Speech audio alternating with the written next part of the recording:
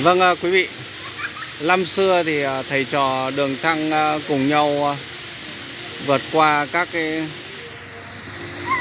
cửa ải à, để đi thỉnh kinh tìm được một cái bí quyết à, trong một cái cuốn kinh đúng không ạ? Còn à, ngày hôm nay thì tôi nghĩ rằng là thầy trò đường tăng thầy trò à, các cái doanh nghiệp chúng ta phải trên một hành trình hội nhập và đi tìm được cho mình một cái giải pháp, một cái công nghệ nào đó.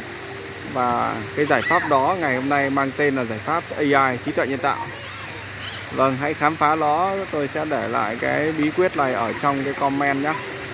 Chúc anh chị sẽ tìm cho mình những cái giải pháp à, để có thể điều hành doanh nghiệp của mình thành công.